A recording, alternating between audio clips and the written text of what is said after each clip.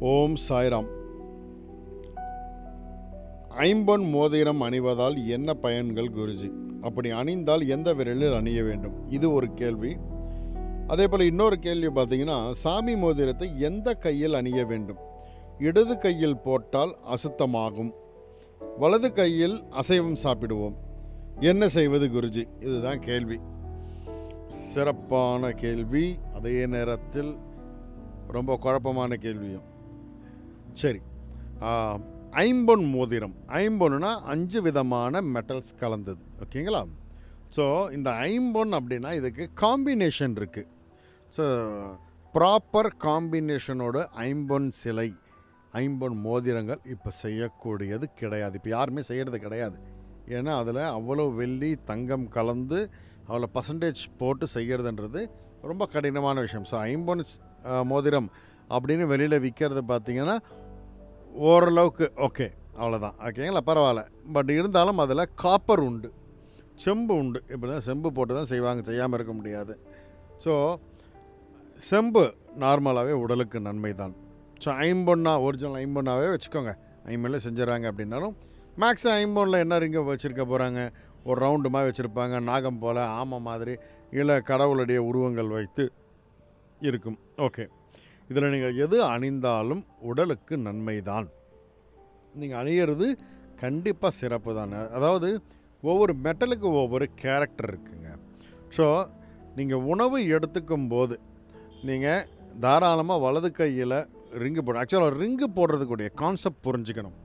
வெள்ளி ரிங்கோ தங்க ரிங்கோ இல்லைன்னா மெட்டல் வேறு மெட்டலில் ரிங்கு போடுறதோ என்னென்னா நீங்கள் சூடான உணவு சாப்பிடுவீங்க. ஆக்சுவலாக இதுதான் ஒரிஜினல் காரணம். சூடான உணவு சாப்பிடும்போது அப்போ அந்த சாப்பாட்டில் இந்த மெட்டல் படும்போது அது கொஞ்சம் லைட்டாக அதனுடைய கேரக்டர் அதனுடைய கொஞ்சம் மெல்ட் ஆகி உணவோடு கலந்து உங்கள் உடலுக்கு உள்ளே போகும். அப்போ அது- அந்த சக்தி உங்கள் உடலுக்கு கொஞ்சம் வந்து சேரும். இந்த காரணம் தான் ரிங்கு போடுற ரிங்கு போடுறது வெறும் அழகுக்காக கிடையாது. அது உடல் ஆரோக்கியத்துக்காக. அதனால் தாராளமாக நீங்கள் வலது கையில் நீங்கள் எந்த ரிங்கு வேணாலும் போட்டுட்டு உணவு சாப்பிடலாம். ஆனால் அசைவ உணவாக இருந்தால் என்ன செய்வது குருஜி? கேள்வி இது ஒன்று இருக்குது என்ன பண்ணுறது அசைவ உணவு சாப்பிடும்போது உங்களுக்கு மனசு குத்துமில்ல? அப்போ ரிங்கை அவுத்து இடது கையில் போட்டுக்கோங்க. சாப்பிட்டு முடிச்சதுக்கப்புறம் எடுத்து வலது கையில் மாட்டிக்கோங்க. ஆனால் வலது கையில் இந்த மாட்டக்கூடிய ஒரு ரிங்கு இந்த ஐம்பொன் ஒரிஜினல் ஐம்பொனில் நீங்கள் செய்கிறதாக இருந்தால் நீங்கள் அந்த ஐம்பொன் மோதிரத்தை கண்டிப்பாக இறைவனுடைய ஃபோட்டோ இல்லாமல் சிலை இல்லாமல் ஒரு சாதாரண ஒரு ரவுண்டு மாதிரி இருக்கிற மாதிரி பட்டையாக இருக்கிற மாதிரி ஒன்று கையில் எப்போவுமே போட்டுருங்க. போட்டிருந்தீங்கன்னா அது நீங்கள் அந்த உணவு சாப்பிடும்போது அது உங்களுக்கு அந்த உடைய சக்தி உங்கள் உடலுக்கு போய் சேரும்போது ஒரு நல்ல ஒரு ஆரோக்கியத்தையும் சௌபாகியத்தையும் கொடுக்கும். இது இதோடைய சிறப்பு. அது மாத்திரம் இல்லாமல் இடது கையில் போட்டால் அசுத்தம். அப்படின்னா இடது கையில் போடக்கூடாதுன்றது ரூல்லாம் கிடையாது. தாராளமாக போட்டுக்கலாம். நீங்கள் மோஷன் போகிறீங்க பாத்ரூம் போகிறீங்க அப்படின்னா அப்போ கழட்டி வச்சுட்டு போங்க. கழட்டி வச்சு பாத்ரூம் போயிட்டு வந்துட்டு அதுக்கப்புறமா நீங்கள் மோ போட்டுக்கோங்க. அவ்வளோதான் முடிஞ்சது. ஓகேங்களா? இதில் ரொம்பலாம் யோசிக்கிறது கிடையாது.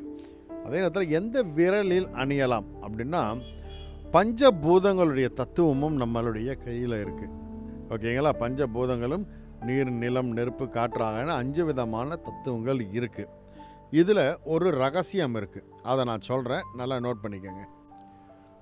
பொதுவாக நீங்கள் ரிங் அணியணும் அப்படின்னா நீங்கள் மோதிர விரல் சொல்லக்கூடிய மோதிர விரல் இருக்குல்ல சுண்டு விரல் பக்கத்து விரல். இந்த விரலில் நீங்கள் பொதுவாக அணிஞ்சிக்கலாம். எல்லாருமே அதில் போடலாம். அது இல்லாமல் ஸ்பெசிஃபிக்காக நான் அணியணும் அப்படின்னு ஆசைப்பட்றீங்கன்னா நீங்கள் நான் சொல்கிறபடி செய்யுங்க.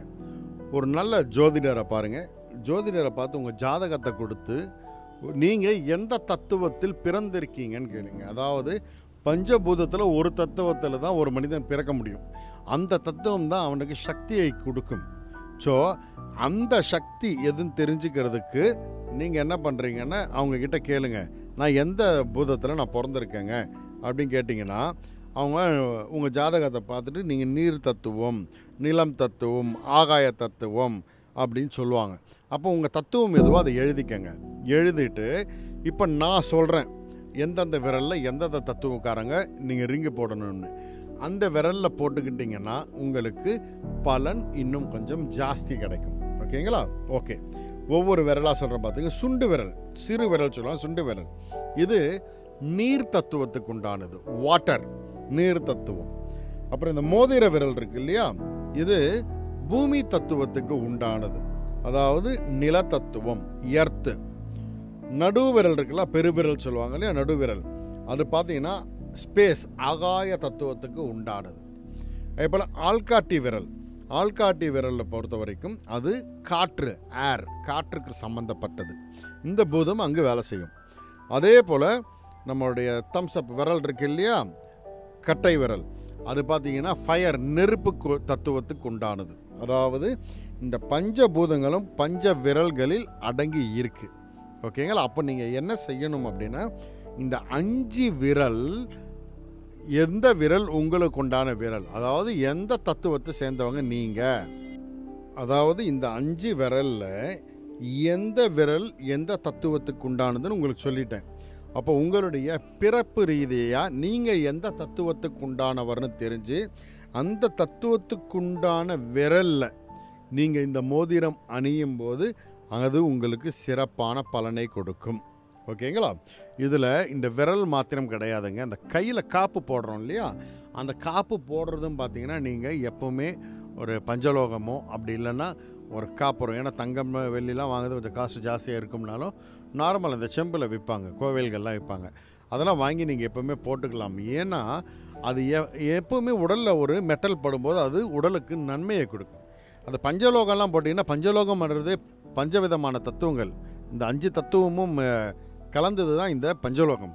ஸோ பஞ்சலோகம் ஒரிஜினல் பஞ்சலோகமாக நீங்கள் செஞ்சு நீங்கள் போட்டுக்கிட்டிங்கன்னா கண்டிப்பாக அது உங்களுக்கு ஆரோக்கியத்தை கொடுக்கும்.